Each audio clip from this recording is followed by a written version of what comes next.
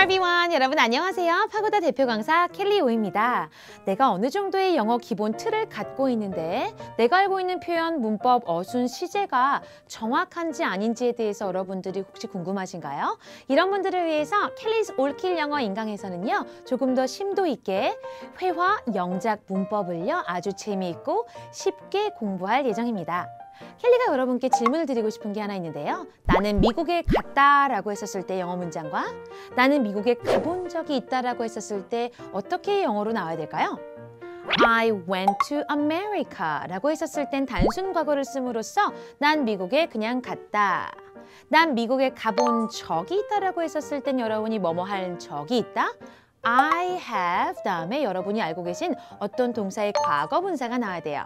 그래서 난 가본 적이 있다라고 할 때는 I've been to 비동사의 과거 분사가 나와야 하는데요. 내가 무엇 무엇을 한 적이 있다라고 할 때 사본 적이 있다.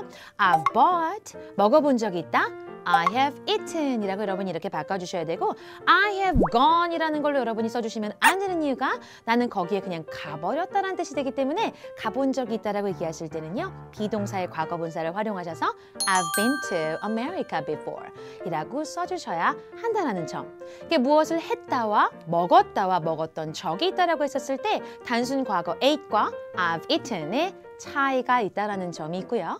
킬리가 여러분께 많이 받는 질문 중에 하나가요. 선생님, in, on, at 언제 써야 되나요? 라는 질문을 참 많이 받아요. 그럼 저는 여러분께 거꾸로 물어봅니다. in이라고 했었을 때 여러분은 어떻게 해석하세요? 여러분 항상 아내, 아내라고 해석하시는 분들이 많죠?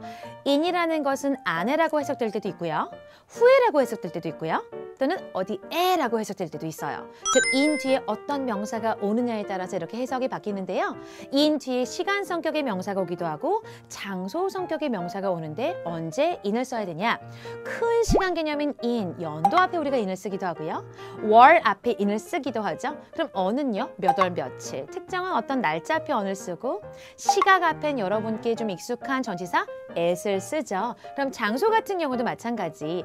in이라는 걸 썼을 때 여러분께 익숙한 안에, 안에라고 하는 어떤 공간 안에 있다라고 할 때 쓰시는 거고요. 생각보다 in보다 우리가 at을 참 많이 쓰는데요. 내가 파고다에 있다라고 할 때 파고다 안에 있어요라고 할 때 쓰실 거면 in을 쓰면 되고 파고다라는 그 곳에 점을 찍고 있는 느낌으로 가실 거면 바로 at이라는 걸 써주시면 되죠. 그럼 어는요? 어는요 어떤 면에 닿아 있어야 하기 때문에 층 또는 거리명에 쓴다라는 점. 이러한 부분들 이런 차이점에 대해서 켈리's 올킬 영어 인강에서는요 아주 쉽고 재미나게 여러분 공부하실 수 있습니다. 자 그럼 우리 Kelly's all kill 영어 인강에서 만나요. bye